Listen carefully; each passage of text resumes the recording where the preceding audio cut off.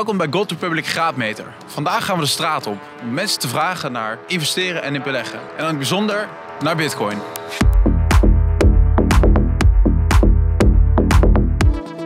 Ben jij op het moment bezig met uh, investeren? Ja, momenteel niet meer. Ik heb toevallig als een cent alles eruit getrokken. Op dit moment niet, nee. Ja. Zo'n uh, partij waarbij je wisselgeld kan inleggen, begint met een P. Dus dat zijn uh, ETF's, als ik het goed zeg. ik heb wat edelmetalen. Dat is het ongeveer. Crypto, um, gewoon normale aandelen, voornamelijk met uh, energie. En uh, ja, ook wel een beetje goud. Yes, yes I am.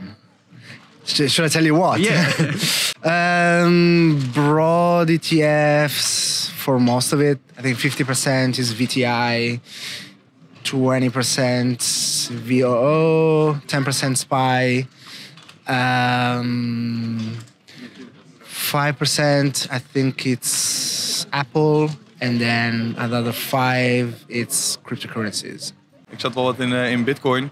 En uh, ja, ik heb nog wel wat, uh, wat, wat goed. Ik heb een deel crypto, een deel in ETF en een deel heb ik nu op een 4% renterekening staan. Omdat de rente nu heel gunstig is. Ik ben nu aan het kijken zeg maar, naar Bitcoin. Ik heb, uh, kijk ook nieuw, nieuwsartikelen zeg maar, over welke zouden kunnen stijgen. Dus ik ben er wel aan verdiept. Nee. Weet je wel iets over Bitcoin? Uh, ik heb er wel eens van gehoord, ja. I, I had I was tempted a couple of years ago, but I'm I'm not too risk loving, so. Ja, wat vind je van Bitcoin?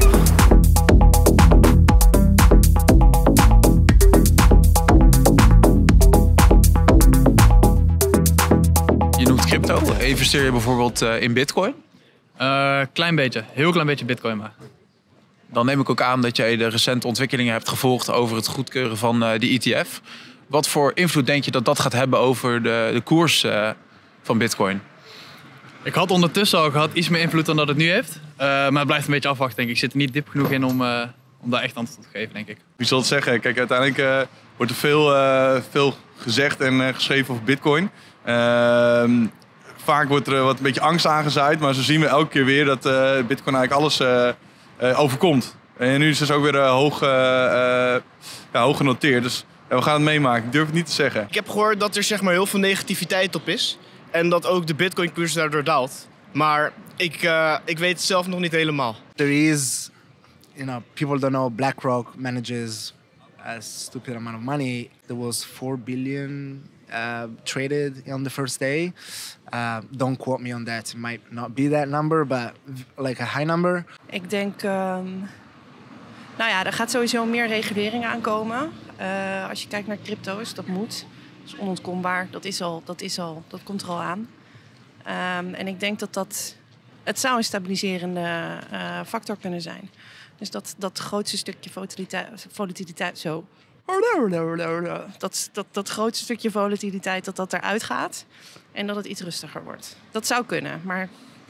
I think there is a positive and a negative. One is we will start seeing Bitcoin base their trade a lot on what the stock market does.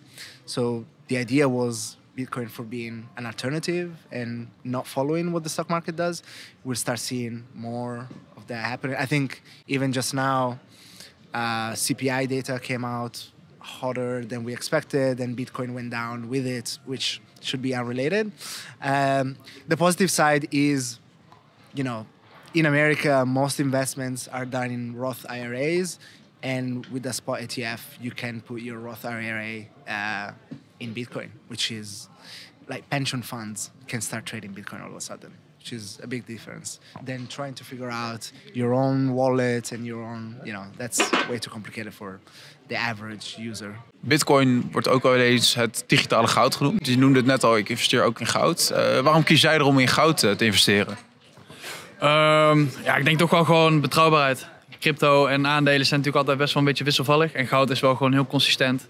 Waardoor denk ik gewoon um, ja, ik lees ook boeken en daar is het eigenlijk wel dat ja, elke, elke heeft wel gewoon goud portfolio nodig. Of het nou 10, 20 of 50 procent is. In ieder geval een klein beetje goud. Dus denk ik, uh, doet geen kwaad. Alleen goud is goud.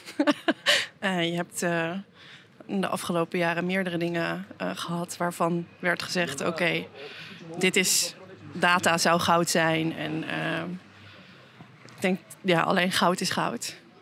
als je kijkt naar. Um, de waarde van goud over de afgelopen jaren, dan is dat gewoon stabiel. Maar ja, ik vind het een solide investering. Heb je ooit wel eens nagedacht over het investeren in bijvoorbeeld eh, goud? Eh, ja, je hebt natuurlijk tijdens crisistijden, hè, goud is de meest stabiele die, eh, stabiel eh, investering die je kan doen. Ja, ik geloof er niet zo in. Het is net zoals met bitcoin, de waarde van goud, waar wordt het mee bepaald? Eh, en dan zou ik het eerder bijvoorbeeld in ETF's of in eh, ja, een renterekening doen. If I were to invest in gold, I would invest in probably cryptocurrency instead. I know that there is a big argument for it. I don't know. I, I, I don't see much too much the point for it. Zeker, zeker omdat eh, nou, als je kijkt naar de hoge inflatie die we hebben, eh, is goud eh, momenteel wel een, eh, een investering die je kan doen of het veel stabieler is. Eh, versus ja, het geld dat momenteel eh, iets minder ga- ja, waard wordt, dat er gewoon veel bijgeprint is. Zou je het overwegen om te investeren in echt goud? Ja, Eh, Wat is de reden waarom je het nog niet hebt gedaan? ja. ja, ik weet eigenlijk niet waarom ik het niet gedaan heb. Ik denk er al langere tijd over na, maar ja goed. Ja, maar eh, ja, ik, ik heb me nooit echt, echt diep in, eh, in, in, in verdiept om te weten hoe ik dat zou moeten doen. Ja, zal ongetwijfeld via een website kunnen.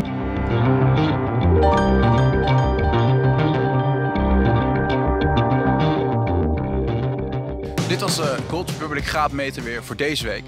Volgende week zijn we erbij met een nieuwe aflevering waar we het zullen gaan hebben over sparen. We gaan de straat op in Amsterdam, dus wil er nabij zijn of wil je ook iets kwijt? Laat even in de comments weten waar we heen moeten gaan. Dan zoeken we je op. En voor de rest, vergeet niet te abonneren, ons te liken en ons te volgen op onze social media kanalen. Bedankt voor het kijken.